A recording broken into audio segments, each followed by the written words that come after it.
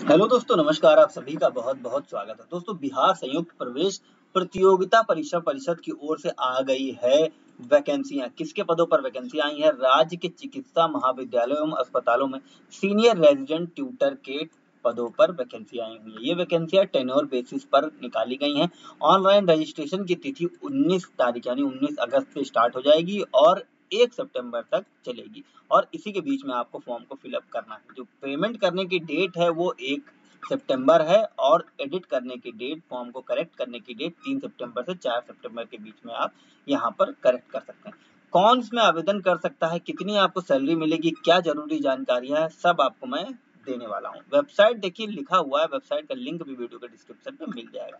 इसी वेबसाइट पर सारी जानकारी मिलेगी। जो वेबसाइट मैंने सबसे पहले आपको यहाँ पर खोल करके दिखाई थी, ये लिंक आपको वीडियो के डिस्क्रिप्शन में मिल जाएगा। वहाँ से डायरेक्ट इस वेबसाइट पर आप पहुँच जाएँगे। पहले आप प्रोस्पेक्टस इसका डाउनलोड कर सकते हैं इंपॉर्टेंट नोटिस पढ़ सकते हैं, उसके बाद में डिटेल इन्फॉर्मेशन पढ़ सकते हैं।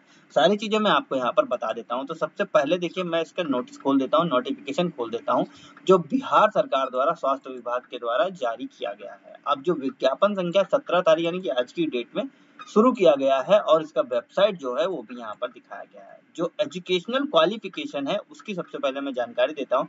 सीनियर रेजिडेंट या फिर सीनियर ट्यूटर के पदों पर 40 परसेंट पद बिहार राज्य के स्वास्थ्य सेवा संवर्ग के और 40 परसेंट पद राज्य के चिकित्सा महाविद्यालयों के द्वारा यहाँ पर भरे जाएँगे। अब यहाँ पर जो स्नातकोत्तर डिग्री पाठ्यक्रम जिन लोग कर रहे हैं, उनको यहाँ पर चालीस परसेंट में रखा जाएगा और बाकी के जो बीस परसेंट है, वो चिकित्सकों के से भरा जाएगा। अब यहाँ पर जो न्यूनतम शैक्षिक योग्यता है, आपका डिप्लोमा होनी चाहिए। अब यहाँ अगर डिप्लोमा है, तभी आप आवेदन कर सकते हैं। डिप्लोमा के ऊपर अगर आपके पास स्नातकोत्तर की उपाधि है तो वो आपको वेटेज देगी, यानी कि दस अंक उसके मिलेंगे। लेकिन जो फाइनल मेरिट बनेगी उनका जो, उनकी अलग से मेरिट बनेगी और जो डिप्लोमा वालों हैं, उनको उनको यहाँ पर नीचे रखा जाएगा। मेधा सूची में उनका स्थान स्नातकोत्तर उपाधि प्राप्त अभ्यर्थियों से नीचे रखा जाएगा। अब आयु सीमा की मैं बात कर लू, देखिए आयु सीमा कितनी है। कुल मिला करके देखिए, अगर आपकी मिनिमम एज 18 साल है, आप आवेदन कर पाएँगे। मैक्सिमम एज के लिए जो अनरिजर्व कैंडिडेट है, उनकी सैंतीस साल, पिछड़ा वर्ग कैंडिडेट की 40 साल और फीमेल कैंडिडेट की 40 साल और उसके बाद में एस सी पीपल की यहाँ पर बयालीस साल। और इसी तरीके से बिहार राज्य के स्वास्थ्य में सेवा में काम कर रहे हैं लोगों को पाँच साल में उम्र में छूट दी जाएगी।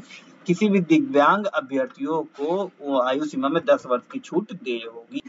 अब देखिए, जो रिजर्वेशन मिलने वाला है, उसकी भी जानकारी मैं आपको दे देता हूँ। तो टेन्योर के पद पर नियुक्ति राज्य सरकार द्वारा निर्धारित आरक्षण पर ही मिलेगी। और जैसा कि आपको पता है कि राज्य सरकार जो आरक्षण निर्धारित करती है, उसमें सिर्फ़ स्टेट कैंडिडेट को ही आरक्षण का लाभ मिलता है। देखिए, यहाँ पर बताया गया आरक्षण का लाभ केवल बिहार के राज्य के मूल निवासी को क्रीमी लेयर रहित का प्रमाण पत्र समर्पित करने पर ही मिलेगा। तो इस तरीके से आप यहाँ पर जो अगर बिहार के कैंडिडेट हैं तो ही आप इसमें आरक्षण का लाभ ले पाएँगे। अब देखिए क्रीमी लेयर का प्रमाण पत्र समर्पित नहीं करने पर अनारक्षित कोटि माने जाएँगे। महिला दिव्यांग स्वतंत्रता सेनानी नातिनी पोता, पोती को नियमानुसार सामान्य प्रशासन द्वारा निर्धारित आरक्षण देय होगा। अब यहाँ पर पदों की कुल मिलाकर के 1511 संख्या है 1511 पदों पर वैकेंसियाँ आई हुई हैं। विवरण पुस्तिका में वर्णित रिक्ति को इस पैनल से भरा जाएगा। टेन्योर में देखिए आपका कुछ शर्तें हैं। विवरण पुस्तिका में वर्णित रिक्ति को इस पैनल से भरा जाएगा। अब यहाँ पर चिकित्सक एक से अधिक विषयों में स्नातकोत्तर अगर उपाधि की है तो उन्हें उन विषयों के लिए आवेदन करना है तो विभागवार अलग अलग आवेदन देना होगा। यानी कि ऑनलाइन में आपको अलग अलग फॉर्म फिलअप करना है अलग अलग सब्जेक्ट के लिए। और आपकी जो डिग्री है वो स्टेट मेडिकल काउंसिल से सर्टिफाइड होनी चाहिए। और ये जो वैकेंसी है टोटली टेन्योर बेसिस पे है और टेन्योर बेसिस पे आपके यहाँ पर आपको जो भी है सैलरी मिलेगी। सैलरी कितनी मिलेगी सारी जानकारी आपको यहाँ पर मैं दे दूँगा। आवेदन प्रपत्र, विवरण, पुस्तिका, आवेदन शुल्क, ये सारी जानकारी आपको एक बुकलेट है, उसमें मिल जाएगी। बुकलेट कहाँ है, मैं आपको दिखा देता हूँ। और ये जो है, इसमें आपको कैसे रजिस्ट्रेशन करना है स्टेप का रजिस्ट्रेशन उसके बाद में step two personal information step three photo and upload educational information उसके बाद में एप्लीकेशन प्रीव्यू और उसके बाद में पेमेंट ऑफ़ एप्लीकेशन फ़ीस तो पेमेंट ऑफ़ एप्लीकेशन फ़ीस छह स्टेप करने के बाद में ही फॉर्म आपका पूरा भरा जाएगा। अब 19 तारीख से फॉर्म स्टार्ट हो रहे हैं, यानी कि कल की डेट से फॉर्म स्टार्ट हो जाएँगे। अगर आपको ऑनलाइन अप्लीकेशन फॉर्म में कोई गलती हो गई है तो वो तीन सेप्टेम्बर से चार सेप्टेम्बर के बीच में आप उसको सही भी कर सकते हैं। जो इसकी शीट है, इसको अच्छे से देख लीजिए।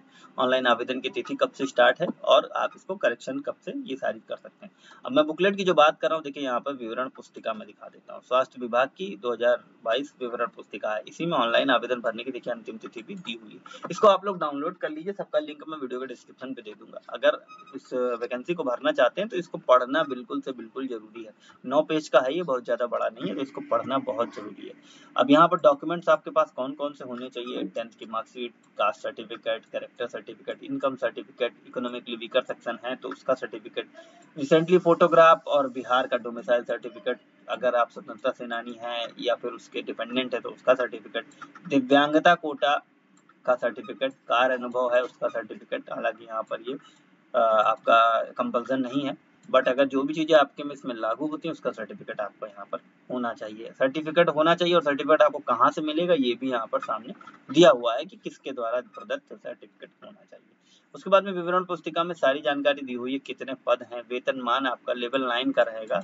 और उसके बाद में कितनी इसकी एजुकेशनल क्वालिफिकेशन है? इंडियन होने चाहिए, आयु सीमा में छूट कितनी मिल रही है? ये सारी जानकारी मैं पहले भी आपको दे चुका हूँ। लेकिन उसमें क्या है? शॉर्ट नोटिफिकेशन था, ये पूरा डिटेल नोटिफिकेशन है। इसको आप डिटेल में पढ़ लीजिए। डिटेल में पढ़ने के बाद में ही आप इस फॉर्म को फिलअप करिएगा। देखिए काउंसलिंग के लिए कोई भी टी टी आपको दे नहीं होगा। तो इस तरीके से आपका है, इस वैकेंसी से रिलेटेड कोई और जानकारी अगर आपको चाहिए तो इस वीडियो पे कमेंट करके हमें बताइएगा। हम आपकी पूरी से पूरी सहायता करने की कोशिश करेंगे।